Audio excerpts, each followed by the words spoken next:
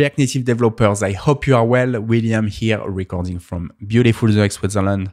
I am ill equipped to talk about any other topic than software development. As software engineers, we are always about improving continuously upon an existing system. We are obsessed with making things better and better over time. And I feel like there are a lot of positive values that come out of such an obsession and I really hope that we can use the current situation as a, an opportunity to be more united than ever, to become better characters, better versions of ourselves, and to make better decisions in the people we choose to be our leaders. Now, this video is about transitions in Reanimated 2. Transitions are the easiest way to animate React Native components. And you might have been wondering how these transitions look like with Reanimated 2. Let's have a look.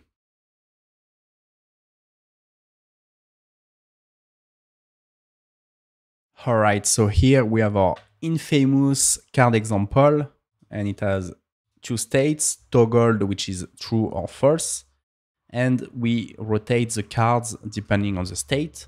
If toggled is false, the rotation is zero, like this. If toggle is true, we rotate by 30 degrees. So pi is 180 degrees divided by 6, 30 degrees, depending on the index. Index is 0, so we would have minus 0, minus 1, minus 1, so that would be minus 30 degrees. Index is 1, we would have 0, so 0 degrees, that's the card here. And uh, 2 minus 1 is 1, so we'd have 30 degrees here. And what we want to do, of course, is to have a nice, smooth animation to go from one state to the other. And the first thing we're going to do is to associate an animation value to the state of our component. So if the state of toggle is true, the animation value is 1. If the state is false, the animation value is 0. So I'm going to create a shared animation value, and I'm going to call it is toggled.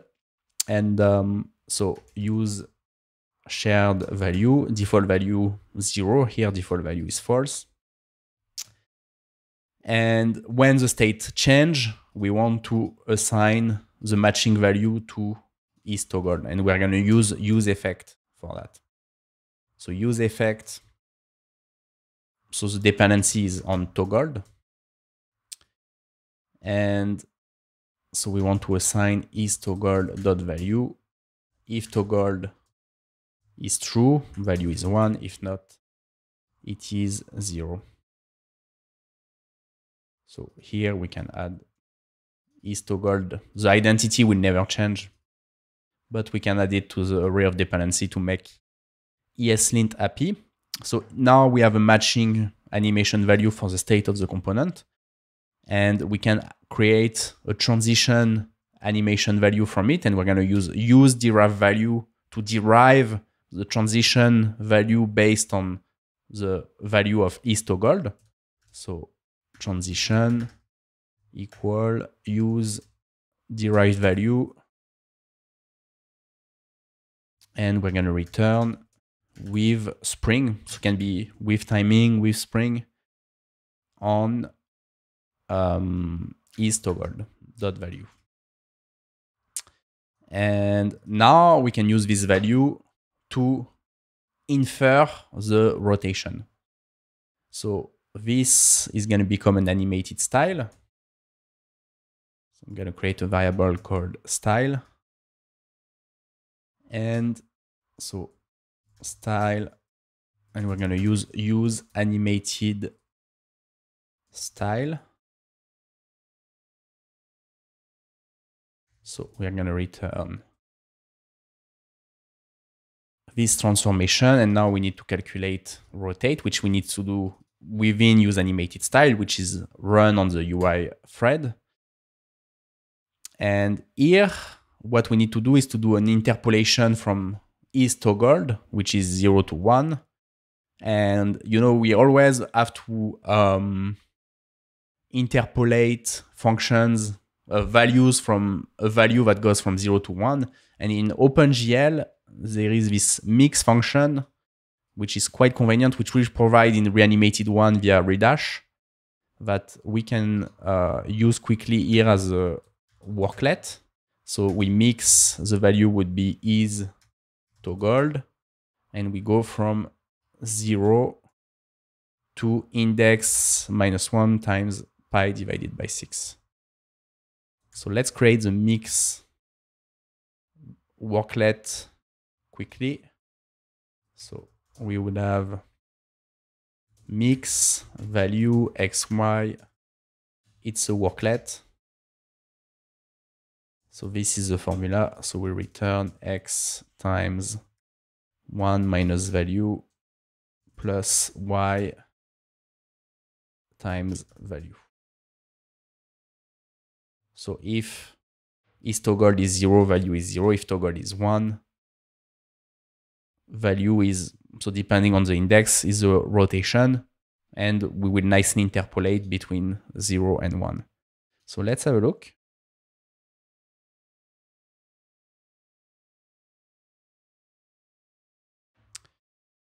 Uh, sorry. I need to do dot value here.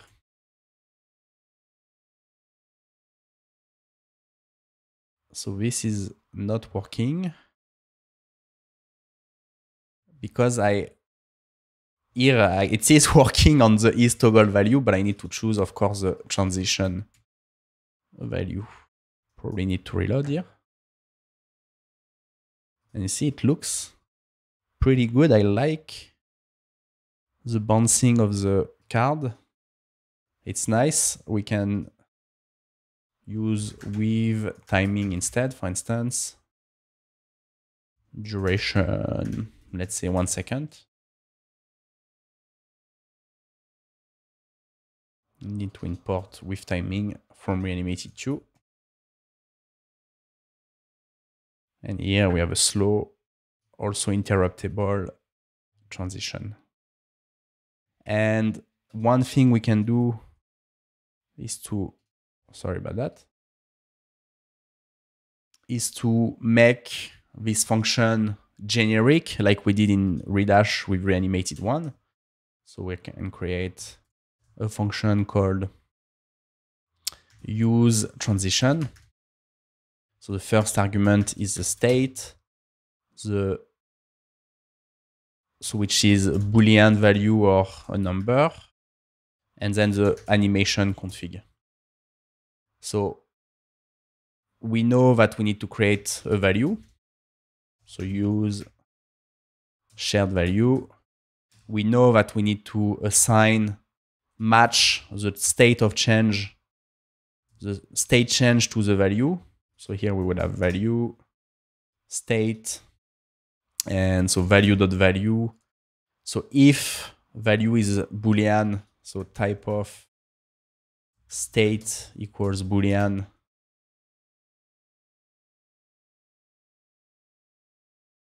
Um, we have to do zero or one depending on if state is true. If not, if it's a number, we just reassign it state.